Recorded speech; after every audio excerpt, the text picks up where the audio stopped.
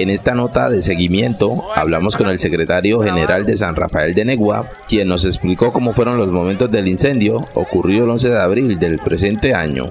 Eh, dicen que había una vela encendida, se, se cayó y culminó con un colchón y por ahí se originó el incendio, dejando 12 casas incendiadas, totalmente destruidas.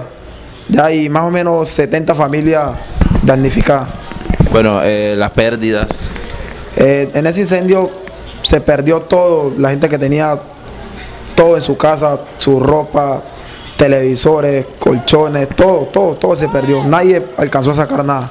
Pero ¿qué organismos de socorro eh, atendieron la emergencia? Eh, allá estuvo la Cruz Roja y ningún otro organismo de, de emergencia han estado allá. La Cruz Roja simplemente. Los afectados se encuentran preocupados porque hasta la fecha ningún grupo de socorro les ha brindado el apoyo necesario. Por eso les pedimos a ustedes que nos colaboren en eso, para ver si los organismos de control mandan algo para la gente que está damnificada en estos momentos en, en San Rafael de Neguá. Bueno, la gente que se vio afectada, ¿cómo está haciendo ahora? Eh, gracias a Dios el vínculo familiar que hay en el pueblo, se están albergando en otras residencias familiares. Pero ellos por lo menos que, que, manifiestan, ¿cómo se sienten?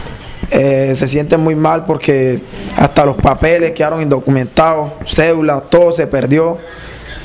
Y pues las otras familias que están ahí en el pueblo le, lo están albergando en estos momentos, brindándole ropa, comida y, y, y dormida y todo eso. Eh, le pedimos a los organismos de control que, que, nos ayuden, porque más o menos tenemos 70 familias damnificadas y, y no han aparecido ni, ni, ninguno, ningún organismo de control de exención a, a, la, a la Cruz Roja. Ya. Bueno, allá no hubo heridos de gravedad. No, gracias a Dios no hubo heridos porque fue en las horas de la mañana. Pero si se origina en la noche, hubieran podido haber muchos heridos. ¿Ya? Y gracias a Dios una motobomba que había en el pueblo se logró apagar el incendio, porque si no, se hubiera destruido todo el pueblo.